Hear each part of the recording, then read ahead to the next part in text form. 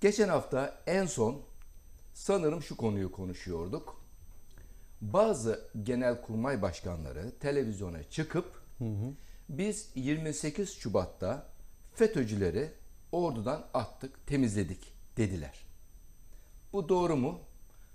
Doğru değilse işin aslı nedir? Bu konudan başlayalım.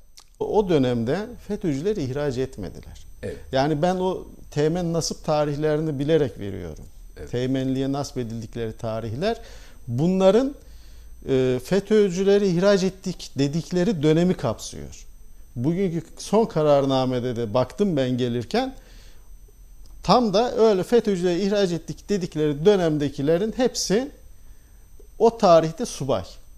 Yani 87 88 yani üst teğmen veya yüzbaşı rütbesindeler onlar zaten. İhraç edilmemiş. İhraç edilmemişler. Kimdi o ihraç edilenler?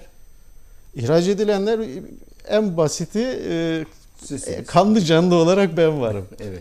Yani 1600 kişi o zaman ayrıldı. 1600-1700 civarında insan Evet. o zaman atıldı. Ve bunlar sadece ve sadece inançlarını yaşadıkları için atıldı. aynen öyle. Bunlar için FETÖ'cü olmayabil var mıdır yok mu? Vardır ama çok az cüzi onu da söyleyelim. Yani o zamanlar atılanlar içerisinde bu grup mensubu insanlar yani yüzde 4-5 ya var ya yok ama yüzde 95'i samimi bir şekilde inancını yaşamaya çalışan insanlardı.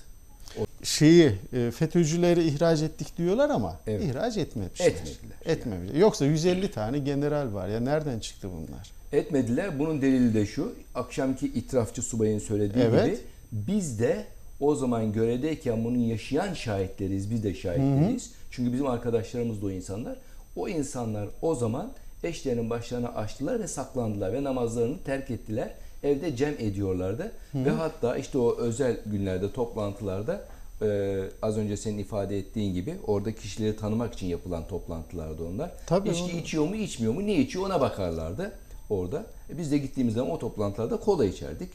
Değil mi? Çok mecbur kaldığımızda gittiğimizde. Evet. Ama bu insanlara özel talimat geldi. Dediler ki siz içki de için kendinizi gizlemek için bu insanlar içki de içtiler.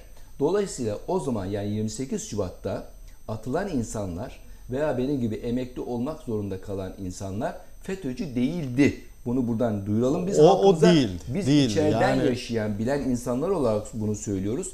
Şimdi e, birkaç tane işte itirafçı da çıktı dillendiriyorlar. Yani o eski genelkurmay başkanlarının ve bazı generallerin televizyonlara çıkıp da söyledikleri söz doğru değil. O, o doğru, değil. Doğrusu budur. Biz içeriden söylüyoruz. O günleri yaşamış insanlar olarak söylüyoruz. Hayır, o gün atılanlar FETÖ'cüler değildi. Samimi dindar insanlardı